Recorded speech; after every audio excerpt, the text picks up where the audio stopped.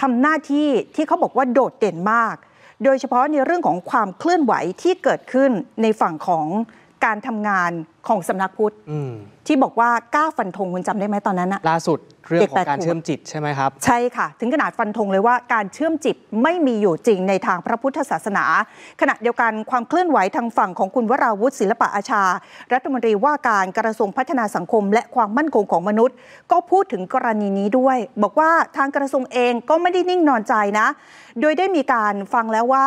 ทางศาลเองนัดไต่สวนกรณีเนี้ย วันที่ 17 มิถุนายน แต่ว่าทางฝั่งของกระทรวงบอกว่าอยากให้เร็วอืมจะขออุทธรณ์ให้ศาลรับเป็นเรื่องเร่งด่วนก็คือไต่สวนฉุกเฉินนะคะ โดยที่ทำเนียบรัฐบาลคุณวราวุฒิศิลปะอาชารัฐมนตรีว่าการกระทรวงพัฒนาสังคมและความมั่นคงของมนุษย์พูดถึงเรื่องของเด็กเชื่อมจิตว่า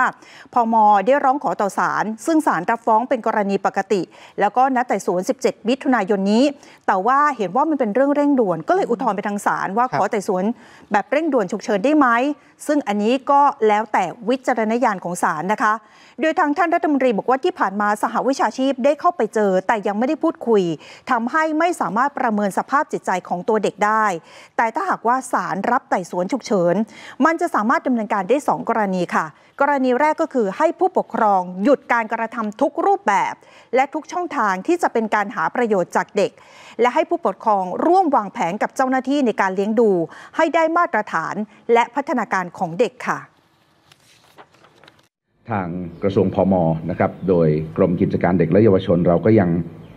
ไม่ได้นิ่งนอนใจนะครับ ยังขออุทธรณ์นะครับกับ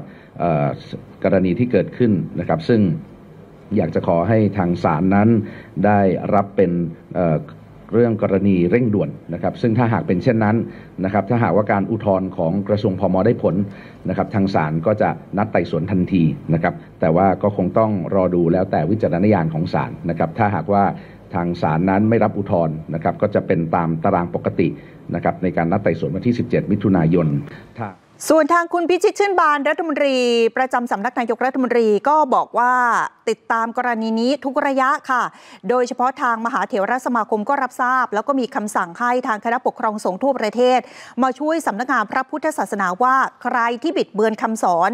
สั่งให้ทางสำนักพระพุทธศาสนา บอกว่าถ้าตำรวจเนี่ยเรียกให้ไปสอบปากคำเตรียมเอกสารพยานหลักฐานให้พร้อมเลยนะ แล้วก็ย้ำว่าการเชื่อมจิตไม่มีอยู่จริง ไม่มีในพระไตรปิฎกค่ะ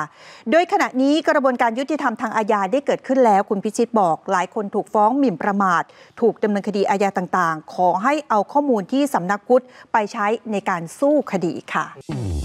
อัปเดต 34 HD App เวอร์ชันใหม่ รางวัลใหญ่รออยู่นะครับ